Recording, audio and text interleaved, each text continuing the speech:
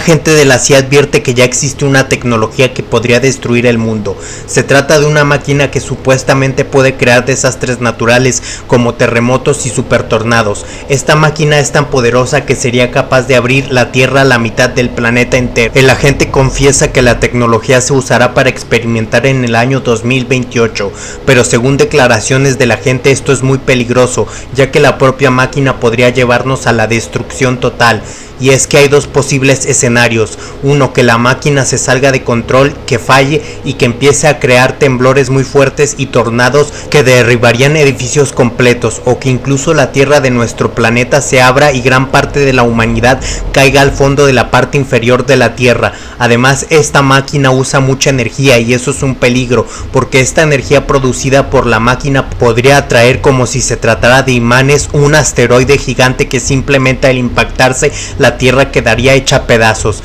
Para ese tiempo ya habrán robots con inteligencia artificial en el mundo y serán como personas. Estas inteligencias artificiales querrán arreglar la máquina, pero el gobierno no las dejará y por eso las máquinas pelearán contra los soldados y agentes del gobierno. Así que es probable que por una prueba científica en la que se haría un experimento con una máquina de catástrofes podría acabar con el mundo de una u otra manera.